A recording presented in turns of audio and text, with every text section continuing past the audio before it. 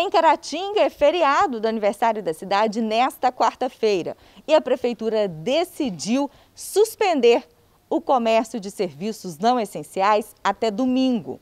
E pelo novo decreto para a reabertura na segunda-feira, existem novas regras que devem ser respeitadas. Primeiro, o comércio de serviços não essenciais não poderá funcionar aos sábados e aos domingos. E segundo, vai haver novo horário e um horário específico para atendimento só de pessoas do grupo de risco.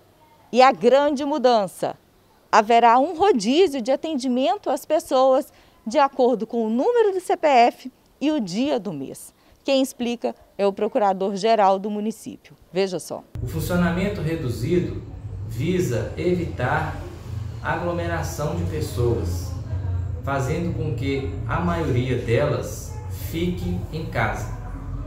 Esta redução do horário de funcionamento do comércio se dará da seguinte forma: das 10 horas até as 12 horas, de segunda a sexta, para atendimento de pessoas do grupo de risco, descrito lá no artigo 12 do decreto em vigor municipal de número 97/2020 e de 12 às 18h30 as demais pessoas, onde está previsto punição para aqueles que forem atendidos em desacordo com este horário, exatamente para preservar a vida das pessoas que pertencem a este grupo de risco. Vale ressaltar que a partir de segunda-feira em horário reduzido, conforme já dissemos, o comércio voltará a funcionar,